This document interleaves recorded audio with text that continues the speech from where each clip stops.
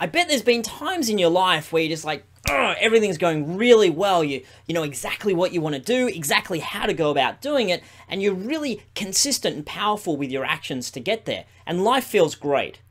And you know, if you're like me, you've probably had plenty of times in your life as well where those things aren't there. You're not exactly sure what you want to do. You're not exactly sure how to go about doing it. Or maybe you are sure about those two things, but you just can't get the energy. You can't uh, you can't drive yourself forward on your own and you feel stuck.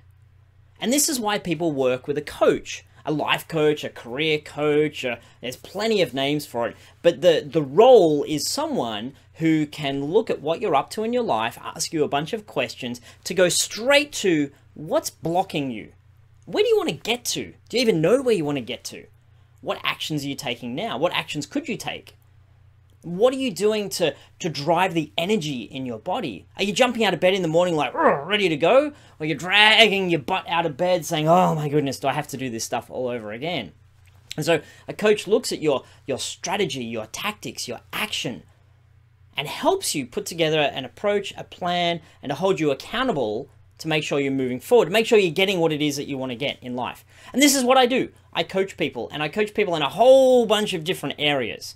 And these are areas that I myself have been on my own journeys health and fitness, career, relationships, uh, spirituality, financial, all these areas where I've looked at my own life. And that's given me the understanding of what's working and what's not, so that when I coach other people, I can bring that, I can bring that knowledge of what did I do? And then I bring all of the theory and the training that I've got in terms of coaching.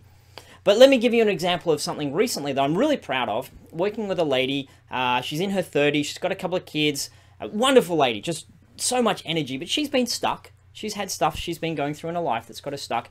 And for a long, long time, she's been a smoker. Long, long, long time she's been a smoker. And in our second conversation, because this is how coaching works, you have, this is the way I do it, we have coaching calls, we discuss what's going on. You put into place actions each week. So on our second conversation, I said to her, okay, what are all of the things that you've been putting off doing? And she she went through a list. She had some homework as well to go through this list. So she told me what was what she'd done for her homework. All these things on a list. I've been putting off this, putting off that, putting off that. And I asked her this question. Which one of those would have the biggest impact on your life if you addressed it? And she's like, well, definitely smoking, without a doubt. I, I feel so guilty every day that I smoke. My kids don't like that I smoke. I don't like that I smoke, but it's the one thing I've got in my life where I have control. So we had a conversation about, well, you can have control by saying no to smoking as well. Not just by saying, yes, I'm in control, I have power each time I smoke. You can have power by not smoking. And imagine what that will open up in your life. And for you watching right now, you might not smoke but you might have things to do with your health and fitness, things to do with your career that sucks that you're not into, uh, the dream of some creativity, some artistry you always want to pursue that you're putting off. So anyway, with the lady who who we talked about smoking, she stopped smoking. This was just recently, just just very recently, just a couple of weeks ago. We had a conversation, and for her, there was a very specific way we needed to go about doing that. You can't just say, "Well, are you going to stop smoking? Good, you better stop smoking. You better do it, or else." You have to be you have to find the leverage that's going to work for you. What's your why?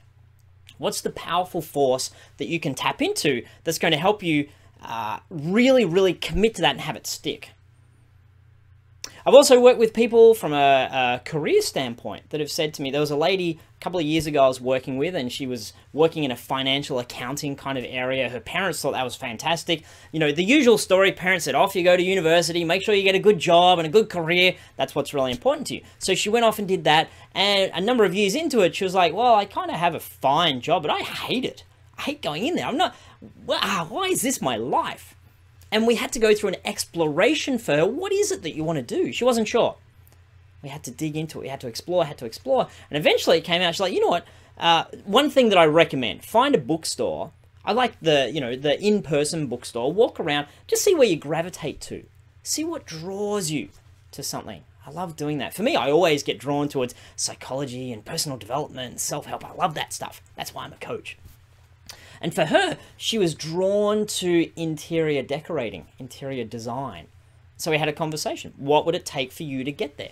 What do you need to do? Do you need to go back to school? Do you need to, you know, is study important? Do you just need to do it? Do you just need to chat with your friends and say, hey, I'm starting to do this. Who would like me to come into their house and, and do a little bit of uh, interior design to help you out?